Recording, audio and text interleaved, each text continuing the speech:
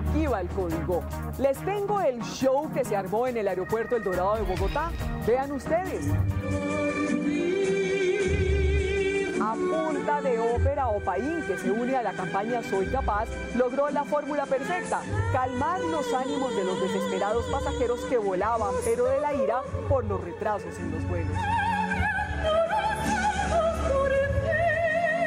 Este grupo se llama Ópera Show Colombia y en esta ocasión se vistieron de pilotos, azafatas y camareras para divertir a los tensos viajeros.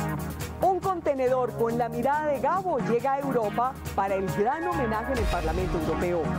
Llegó al puerto de Amberes en Bélgica donde se prepara el gran homenaje a Gabriel García Márquez el próximo 24 de septiembre. Esta semana, un pintor, un deportista y una reina fueron víctimas de la inseguridad. Al pintor Alberto Vélez le robaron 220 pinturas avaluadas en mil millones de pesos en la ceja Antioquia.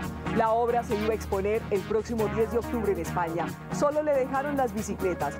Al que sí le robaron todas las bicicletas fue al antioqueño Juan Esteban Arango, doble campeón de la Copa Mundo Pista. Le robaron de su casa las tres bicicletas que usa para entrenar. Y ni la belleza se salvó. A la señorita Colombia Paulina Vega le rompieron el vidrio de su carro y le robaron los celulares en Bogotá. En los Transmilenios hemos visto de todo, pero es nuevo. En las redes sociales circula este video de una joven que prepara su desayuno en pleno bus. Con cebolla y tomate acompaña los huevos revueltos. Aún no sabemos por qué lo hace. Y el recomendado de código, Un jardín para María de Delia Jaramillo.